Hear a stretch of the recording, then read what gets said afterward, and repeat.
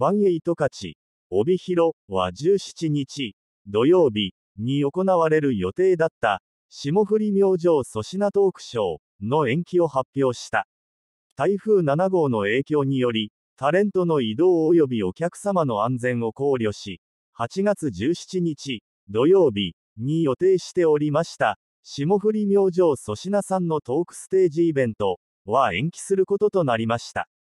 粗品さんの帯広競馬場のご来場もございません。8月17日、土曜日第 5R、粗品大口投票でオッズ破壊杯はそのままの名称で行われます。イベントの新しい日程が決まり次第、改めてお知らせいたします。ご来場を楽しみにされていた皆様には、大変ご迷惑をおかけいたしますこと深くお詫び申し上げます、と発表して、